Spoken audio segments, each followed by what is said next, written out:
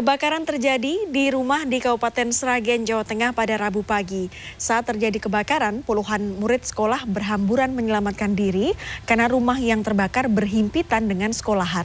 Sementara itu pabrik garmen seluas 300 meter di kota Bogor, Jawa Barat terbakar pada Rabu dini hari. Api yang terus membesar nyaris merembet ke permukiman warga.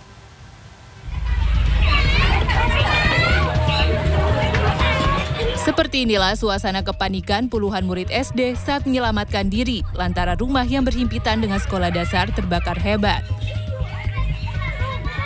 Kebakaran terjadi di rumah warga saat pemilik rumah menuang bensin untuk memasak.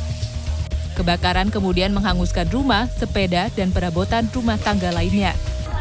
Kebakaran ini juga membuat syok nenek dan cucu pemilik rumah. Nila, anak pemilik rumah, harus diberikan oksigen oleh tim medis Puskesmas Karangmalang, Seragen, lantaran lemas melihat rumahnya terbakar. Hal serupa terjadi pada sang nenek Hanua yang terbaring lemas.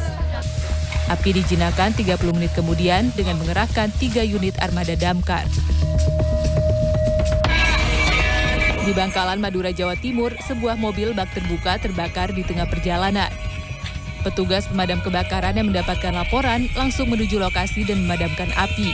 Tidak ada korban dalam insiden ini, namun mobil beserta muatan furnitura di bawahnya ludes terbakar. Bangunan pabrik garmen seluas 300 meter di Kelurahan Rangga Mekar, Kota Bogor, Jawa Barat terbakar pada Rabu dini hari. Kobaran api bahkan terus membesar hingga nyaris merembet ke permukiman warga sekitar.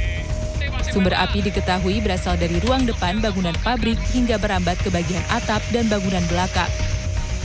Enam unit damkar yang terjunkan sempat kewalahan karena area yang terbakar cukup luas. Kebakaran baru mereda setelah pemadaman berlangsung selama hampir tiga jam. Hingga kini polisi masih mendalami penyebab kebakaran pabrik tersebut. Tim Liputan CNN Indonesia.